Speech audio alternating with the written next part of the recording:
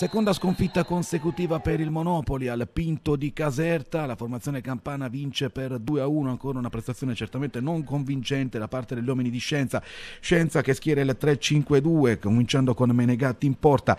Difesa con Nicoletti, Sales e Mercadante. Sugli esterni iniziano Zambataro e Ghiebre. In mezzo al campo, Giorno in cabina di regia con Piccini e Paolucci, mezze ali. In avanti cominciano Samele e Starita. Monopoli che parte anche bene dopo poco più di un minuto il cross di Ghiebre all'interno dell'area di rigore respinto da Avella, poi Samele non riesce nella deviazione vincente, ma praticamente al primo assalto la Casertana passa, siamo al nono minuto, cross di Azio Osmanovic da destra, colpo di testa sul secondo palo di Cuppone. E dunque classico gol degli ex con il cross di Azio Osmanovic, appunto colpo di testa di Cuppone, due che lo scorso anno giocavano in maglia bianco-verde, prova a reagire il Monopoli al sedicesimo punizione di giorno. Sulla prosecuzione dell'azione, poi Starita in fuorigioco sul sul secondo palo dopo un colpo di testa. Viene ammonito Giorno che era diffidato e dunque salterà la partita contro il Foggia.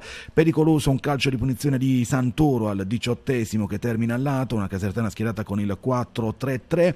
Ci prova Giorno al venticinquesimo dal limite, il sinistro però è debole. Eh, al trentasettesimo arriva il raddoppio della casertana, Giosa regala il pallone alla formazione campana, il destro di Izzillo è perfetto, nulla da fare per Menegatti ed è 2-0. Dunque eh, dopo un minuto la Casertana sfiora anche il terzo gol con Cuppone, respinge eh, Menegatti. Al 45esimo un destro di giorno con Avella che respinge in due tempi e in pieno recupero Monopoli trova il gol che le consente di sperare. Il cross bello di Mercadante, la deviazione a volo di Zambataro, il risultato di 2 a 1 alla fine del primo tempo.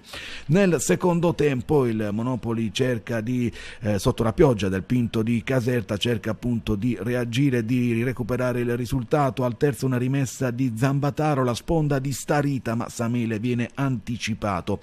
Ci prova Pacilli su punizione all'ottavo, una punizione che termina alta, doppio cambio nel Monopoli al quattordicesimo dentro Marilungo e Santoro per Starita e Samele, ma il Monopoli non riesce a incidere. Al ventitresimo, una deviazione di Giose in area di rigore, il tiro viene deviato in corner. Ultimo doppio cambio per Scienza. Al ventiseiesimo dentro Tazzer e Vassallo per Piccini e Zambataro, ma eh, al trentanovesimo la Casertana resta in 10 per l'espulsione ingenua di Icardi, ci prova Ghiebre al 43esimo con un destro che termina al lato, al 44esimo una girata di Marilungo che termina fuori su cross di Santoro, un giallo al 46esimo nel vero senso della parola perché il tiro di giorno viene deviato probabilmente con un braccio da Conate, l'arbitro assegna il calcio d'angolo ma espelle Conate, in realtà pare per una gomitata su Paolucci, l'arbitro però non concede il calcio di rigore al 47 Monopoli vicinissimo al pareggio, cross di giorno, la sponda di Giosa, Mercadante in ritardo sul secondo palo di un soffio con la Casertana in 9, ma il risultato non cambia.